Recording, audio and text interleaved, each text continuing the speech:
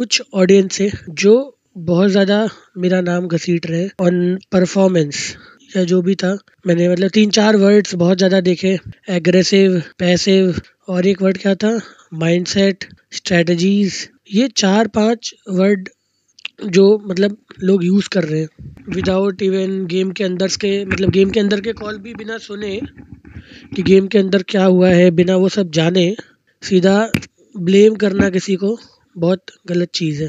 भाई देखो गॉबलिन का सिंपल सा यार, उसको मतलब अप्रोच एग्जैक्टली अप्रोच अप्रोच सही सही वर्ड बताया। तो भाई देखो, ऐसा होता है कि जैसा प्लान करो, ठीक है? तो मैं बस एक चीज़ बताता हूँ, कभी भी कोई भी टीम प्लान नहीं करती कि हम गेम के अंदर जाएँगे और एक पॉइंट दो पॉइंट लेकर आ जाएँगे, या गेम के अंदर जाएँगे आउटसाइड जोन जोन से मर जाएँगे। कभी भी वो अप्रोच होती ही नहीं है। तो मतलब टूर्नामेंट के स्टार्ट से ही कैसा हुआ? मतलब मैं तुम्हें पॉइंट ऑफ़ व्यू देना चाह रहा हूँ, मेरा, ठीक है?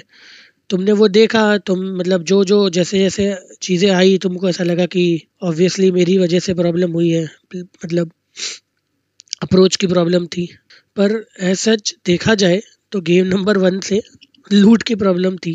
की वजह से रोटेशन डिले हो रहा था, और रोटेशन डिले करने की वजह से हमें जगह नहीं मिल रही थी। तो मतलब ये चीज़ कनेक्टेड थी एक दूसरे से। कुछ डिसीजंस गेम के अंदर कुछ कॉल्स थोड़े ऊपर नीचे हुए लेफ़्ट राइट हुए, जो हम करते हैं, वो ना करके थोड़ा सा कुछ, एक दो गेम में, चार गेम में ऐसा हुआ। कुछ गेम में सर्कल मिले और उसमें जहाँ मारना चाहिए था, वो स्पेशली वो प्लेन वाला गेम और एक मीरा मार का गेम था, जिसमें मतलब थर्ड पार्टी हुए जी से बट वही था कि वो तीन बंदे नॉक करके हम मर गए। तो मतलब ये सब चीज़ें प्लान नहीं होती है भाई कि थर्ड पार्टी हो जाना किसी से।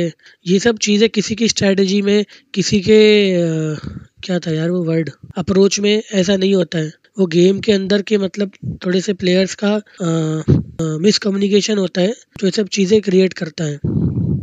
अगर इतनी प्रॉब्लम होती मेरे में तो मैं अभी तक होता ही नहीं भाई। मैं ऑलमोस्ट चार साल से हूँ ठीक है? अक्षत और ओमेगा के साथ। ऑलमोस्ट 2019 से 2024 और क्या बोलते हैं नियो का एडिशन मतलब हर चीज़ जो हुई है टीम में, ठीक है? वो ऑब्वियसली मतलब तुम्हें पता नहीं चलता होगा कौन कर रहा है, कौन प्लेयर स्काउट कर रहा है, कौन क्या कर रहा है। पर अगर एक बंदा अपना सब कुछ डेडिकेट करके एक टीम बना रहा है, एक लाइनअप बना रहा है, ठीक है? और, समझ रहे हो तुम?